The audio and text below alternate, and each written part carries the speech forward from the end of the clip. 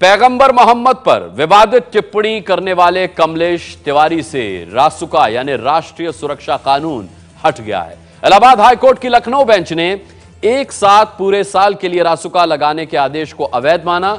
ऐसे में कल उन्नाव की जेल से रिहा वो, कमलेश हो सकता है। पिछले साल दिसंबर में कमलेश तिवारी ने आज़म खान की आरएसएस पर विवादित टिप्पणी के जवाब में पैगंबर मोहम्मद के बारे में आपत्तिजनक बयान दिया था। उसके बाद उस पर राज्य सरकार ने एक साल के लिए रासुका लगाया था।